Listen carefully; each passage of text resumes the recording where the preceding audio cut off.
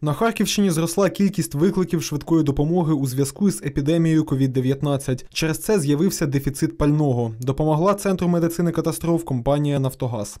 Практично тиждень центр екстреної допомоги Харківщини міг працювати на цьому паливі. Е, Сьогодні це дуже важливо, ми дуже вдячні. Щоденно на виклики виїжджають понад 200 бригад. Карети швидкої заправляють на станціях мережі ЮГОУ за переліком бортових номерів, які надав центр. Ми приїжджали, казали, скільки нам потрібно, і нас заправляли по нашій потребності. Паливо якісне.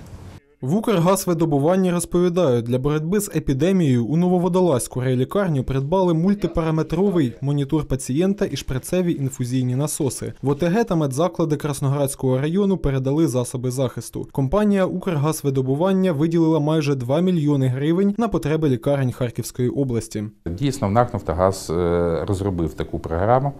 Е, Вона потроху зараз розгортається і найближчими днями темпи забезпечення громад будуть е, лише зростати. Наразі підприємства Нафтгазу допомогли більше ніж 20 медзакладам, а також 26 амбулаторіям та громадам у семи регіонах України. Василь Петренко, медіагрупа Об'єктив.